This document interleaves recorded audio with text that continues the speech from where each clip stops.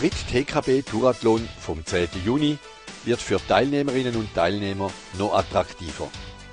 Unter dem Motto Thurgau bewegt führt der Anlass Sportlerinnen und Sportler wiederum durch den ganzen Kanton Thurgau. Teilnahme allein, zu zweit oder in einer Fünfergruppe mit wählbaren Kurz-, Mittel- und Langdistanzen bleibt bestehen. Nach den Erfahrungen den letzten beiden Jahren kommt es zu einigen Anpassungen. Details findet Sie auf der Tourathlon-Webseite. Wer jetzt anmeldet, ist sicher am 10. Juni dabei. Online-Anmeldung unter www.tourathlon.ch